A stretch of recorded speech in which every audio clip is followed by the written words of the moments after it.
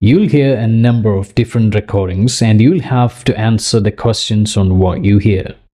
There will be time for you to read the instructions and the questions, and you'll have a chance to check your work. All the recordings will be played once only. The test is in four sections. Write all your answers in the question booklet. At the end of the test, you will be given 10 minutes to transfer all your answers to an answer sheet. Now turn to section 1. Section 1. You will hear a university student radio station broadcast. First, look at questions 1 to 5 on the form.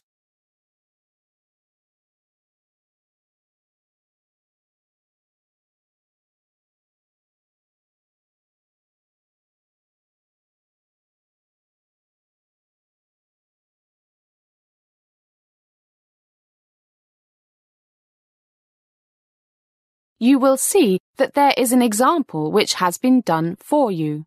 On this occasion only, the conversation relating to this will be played first and repeated. And it's a bright sunny morning here at Portsmouth University Radio, the radio station that brings you all the news and lots of the fun non-news from our wonderful campus and the city we live in. I'm your host, Mike, and with me is... Rita. Hi, guys. So, Rita, what's on the menu this morning? Now we shall begin. You should answer the questions as you listen because you will not hear the recording a second time. First, you have another chance to look at questions 1 to 6. Listen carefully and answer questions 1 to 6. And it's a bright sunny morning here at Portsmouth University Radio, the radio station that brings you all the news and lots of the fun non-news from our wonderful campus and the city we live in. I'm your host, Mike, and with me is... Rita. Hi, guys. So, Rita, what's on the menu this morning?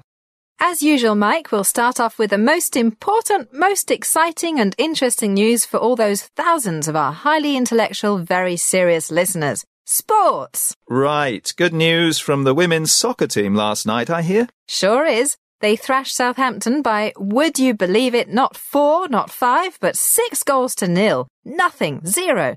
So the team's looking good for the Southern England University League that starts this Saturday. Did you see the game, Rita? I wanted to, but was stuck in the lab playing with rats. See the game? Against our closest rivals? Do you think I'd have missed it? Great game. So, who scored? No surprises here. Molly Mbeka scored the first three, all in the first half. Susie Smith, last year's top scorer, hit the net five minutes into the second half, followed two minutes later by Joan Michael. Then Molly finished off the massacre just before the final whistle. Fantastic players, great team. All our listeners know Susie Smith, of course, the blonde dynamite, and Joan Mitchell from last year. But Molly is new on campus, a first year postgraduate medical student, all the way from Ghana, where she played for the national team. Top scorer. An amazing 25 goals in international matches last season. African Woman Player of the Year. Look at questions 7 to 10.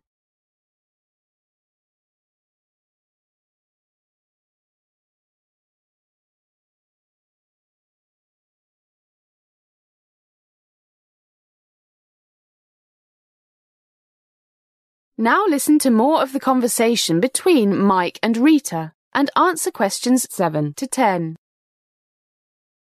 Yeah, she's fantastic.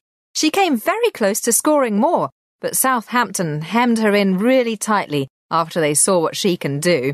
I heard she could turn professional tomorrow if she wanted to, but prefers to enjoy the game as an amateur and study to become a doctor. That's true. Okay, and how about the men's soccer team, Mike? Do I have to speak about this, Rita? A disaster. Played away at Bristol. I won't be surprised if some of them are too embarrassed to come back. Lost 6-2, and Bristol had their best two players watching from the sidelines because of injury. Let's change the subject. Good idea. No other sporting news today, but lots coming up this weekend. Now to the bad news from the Students' Union. Really bad news. Prices in the cafeteria and bar are going up by an average of 10% as from Monday. 75p for a cup of coffee, Four pounds for a pint of bitter. My favourite beer. So, complain. There's a demonstration planned for outside the Students' Union building at noon tomorrow. See you there, and you can phone us now, 8759 765, to tell us what you think.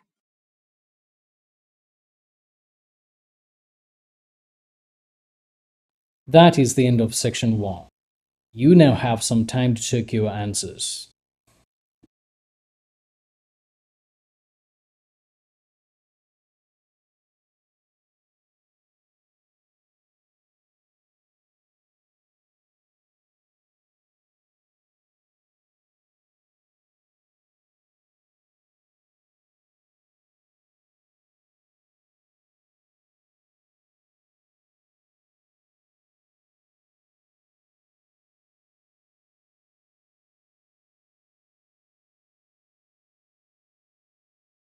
Now turn to section 2. Section 2. You are going to hear an address given at the annual meeting of an international computer company by the company president. First, look at questions 11 to 16.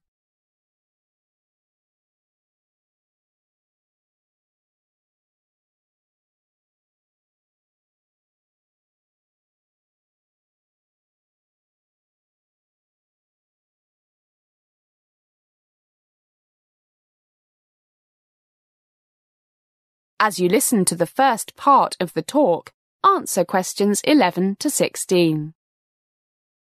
Good morning, fellow members of the board, staff members, and our dear stockholders. Welcome to our sixth annual general meeting.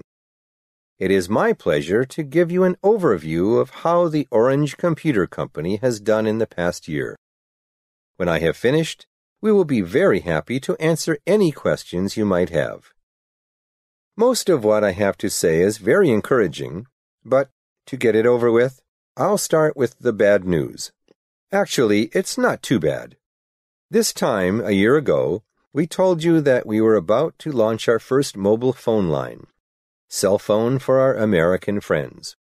After a major promotion, our four mobile phones hit the market exactly one week later. Given our excellent company reputation, very promising results from our market research, and what we thought were attractive winning features at very competitive prices, our competitors were ready and waiting, with new models at prices that we had to match. So match them we did, but given the difficulty of breaking into this market, sales have been disappointing both in Europe and especially in North America. Given the massive growth of China's mobile phone production in recent years and our lack of experience in that part of the world, we did not market the phones in Asia. So our mobile phone subsidiary is still limping along, but sales are slowly growing. We believe the long battery life and reliability are beginning to have a larger impact on consumers. So we have planned a new promotion and marketing campaign stressing these two strengths. Our research also shows that after only a few weeks, most purchasers of the fanciest, most expensive mobile phones end up only using the basic functions phone calls, messages, and chatting. So we will be appealing to the more conservative consumers, those who look for reliability rather than those who feel they need to always have the very latest and most complicated models we are confident that we will soon build a strong position in this target market. Now look at questions 17 to 20.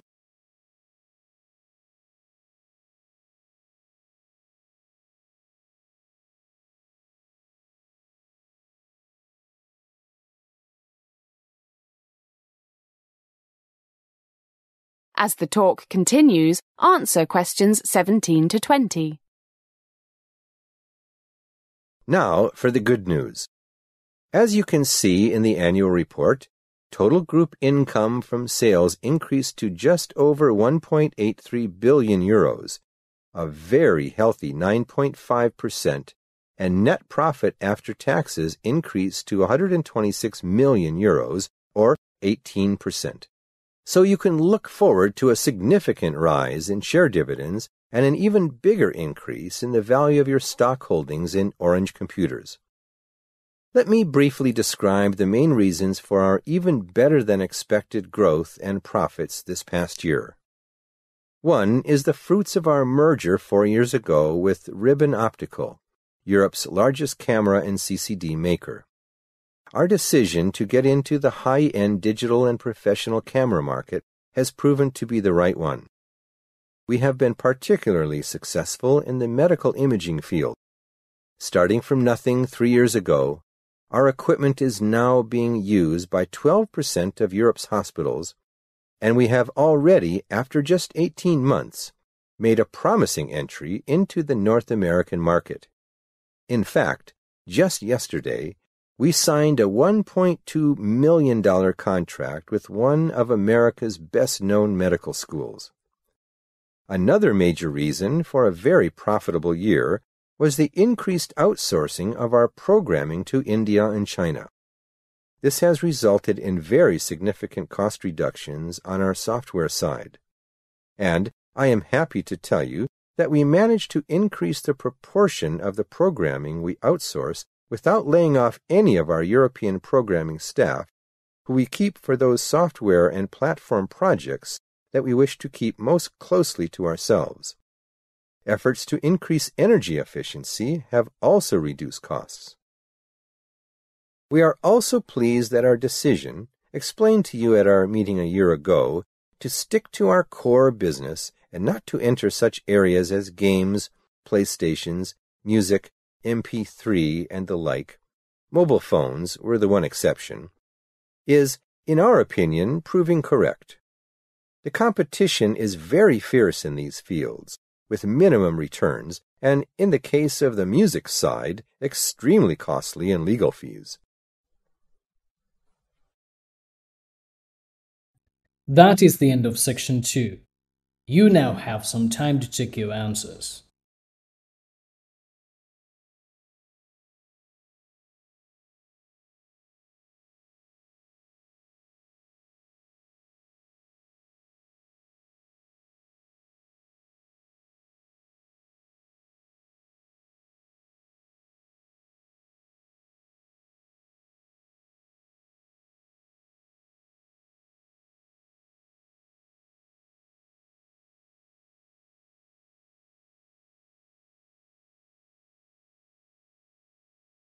Now turn to section 3. Section 3. You are going to hear a conversation between Mary and Mr. Hayes, one of her former high school teachers. First, listen to the first part of the conversation and answer questions 21 to 25. You now have some time to read questions 21 to 25.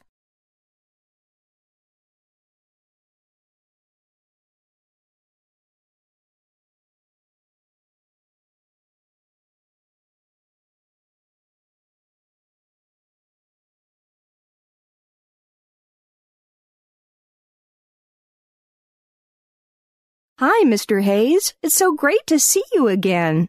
Mary, one of my most favourite students. So, how are you? Well, to be honest, Mr. Hayes, not so good. That's why I wanted to see you. It's about university. So different from high school. Oh dear. Well, why don't we sit down over there and you can tell me all about it? Let's see if I can be of any help to you. Oh dear, I feel so stupid now. I shouldn't have bothered you. Don't be silly, Mary. We all need someone to speak to sometimes. And since your mother and father are in New Zealand, you probably feel a bit lost now and then. But before you say anything else, why don't you tell me the, all the things that you like about your new life at university? Gee, I don't know. I guess I like the city. Canterbury Cathedral is one of my favorite places. I often go there just to sit and think. Or just sit. Oh, I can quite understand that. And you've got the sea. I love the sea. And you are never more than a short cycle ride from the lovely Kent countryside. And how are your teachers? Oh, the profs are great. Not as good as you. but really interesting and always ready to explain things after class. But I don't know, they're really good. But I just can't seem to feel enthusiastic about studying anymore. Mary? Not a keen student anymore? My dear, that's so hard to believe. You were always so energetic and interested in all your studies, except German, if I remember correctly. But you still did very well in it. And you always wanted to major in biology, which is what you're doing now. Do you still enjoy biology? As the conversation continues, answer questions 26 to 30. You now have some time to read questions 26 to 30.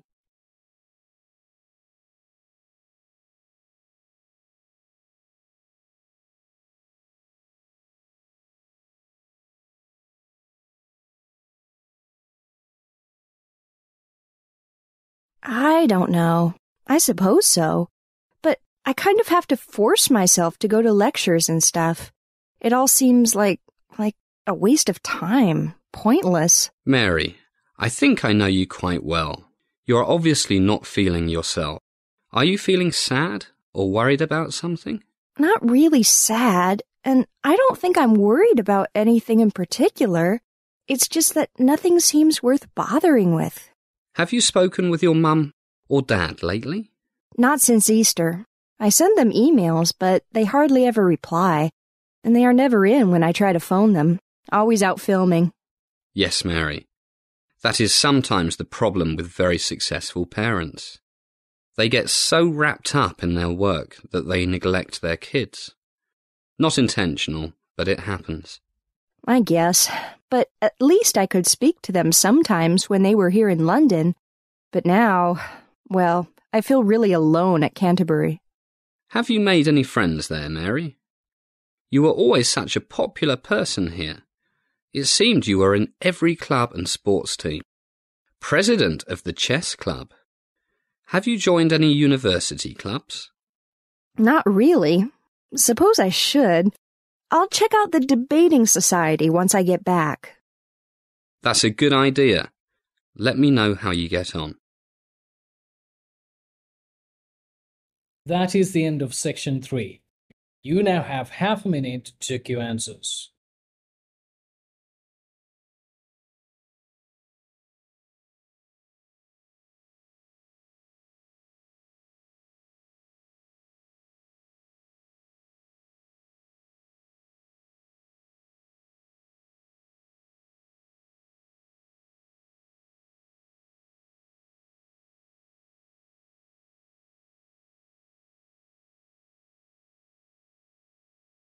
Now turn to section 4.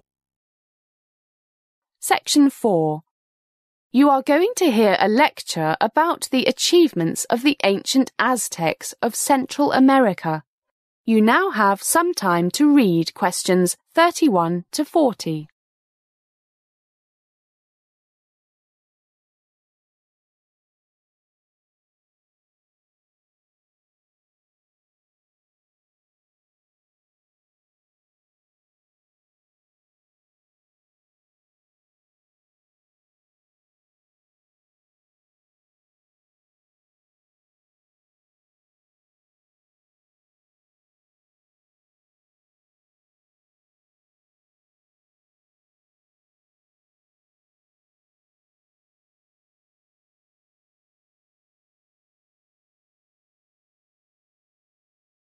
Good evening. Good to see so many people here to learn about the fascinating civilization of the Aztecs. By the way, is the microphone working? You can hear okay at the back? Good. Let's go back to 1519 AD. Anyone know what happened in that year? Right.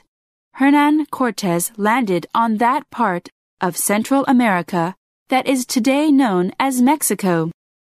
He expected to find gold, and he did. What he did not expect to find, however, was the great Aztec civilization. Aztec legend said they originated in the plains of northwestern Mexico and slowly migrated southward. When they arrived at Lake Texcoco in 1325, they founded their great capital, Tenochtitlan, on the site of what is now Mexico City. The Aztecs developed a complex society and governmental structure, at the head of which was the emperor. They made many scientific advances, especially in the areas of astronomy and medicine. They also had a complicated religion and interest in the arts, agriculture, and social conditions occupied much of their time. Let's talk about their remarkable achievements in some of these areas. You cannot do much if you don't have food to eat. So let's first take a look at their farming practices.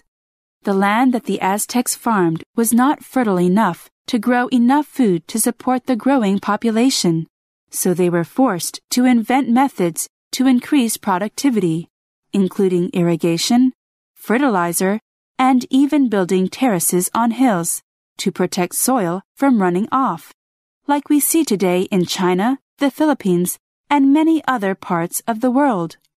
But one thing we don't see was their very original idea of chinapas, spelt C-H-I N-A-P-A-S. Chinapas were floating gardens built on swamps. Actually, they were quite simple to make. First, canals were dug through the marshes and swamps. Then, mud from the canals was placed on mats woven from weeds and straw. These mats were quite big, maybe five or six meters long and two across. Trees were then planted in the bed of the swamp at the corners of each mat. The trees took root, and the chinapas were held firmly in place. The Aztecs used these floating gardens to plant their main, corn, and also vegetables like beans, chili peppers, avocados, squash, and tomatoes. The Aztecs were very advanced in some ways, but they didn't use animals or plows to help them work the land. In fact, they didn't even have the wheel. No problem. The soil on the chinapas was soft enough that pointed sticks were all they needed to plant crops on them. But the Aztecs were much more than imaginative gardeners. They made great advances in the sciences especially astronomy. I'm sure many of you have heard of the Aztecs' calendar stone. It took them 52 years, from 1427 to 1479, to build the calendar stone. It was huge, a massive piece of rock, three feet thick, 12 feet in diameter, and weighing about 24 tons, on which they carved pictographs for the days and months of the Aztec calendar. This showed just how advanced the Aztecs were in the science of astronomy. It makes me think of the clean air they enjoyed in those days, when they could see all the stars shining so brightly in the night sky. They would have had a big problem doing this in most parts of the world nowadays. But back to the calendar stone. It had 18 months each of 20 days, namely 360 days made one year. But they had long before worked out that there are 365 days in a year. So they added five days, which they called the Nemontemi, or sacrificial days, to get 365. Remember, this was 103 years before the Gregorian calendar that we use today very sophisticated, those Aztec astronomers. And they were not only clever astronomers, the Aztecs made great advances in medicine. At the time, many Europeans looked down on the herbal medicine of the Aztecs as a heathen practice, just like they used to look down on traditional Chinese or African medicine. But in fact, Aztec doctors could do more than even the best doctors in Europe. Their medicine was primarily based on spiritual healing and herbal healing. Spiritual because they believed many illnesses were caused by such things as an angry God or bad birth signs. So their first step in treating an illness was always prayer and sometimes animal sacrifice. But they also used herbal medicine and concentrated much of their medical science on finding out what herbs could do, just like the ancient Chinese doctors. So, over generations, the Aztecs accumulated a vast knowledge of the herbs in the world around them and the medicinal properties of each one. One difference with traditional Chinese medicine is that the Aztecs concentrated more on curing the symptoms of a disease than getting at the cause of the disease. They felt that if a god or goddess wished to make them ill, then they could do nothing about the root cause, namely a god. If the medicine worked, it meant that the gods approved of the patient getting well again. That is the end of section 4. You now have half a minute to check your answers.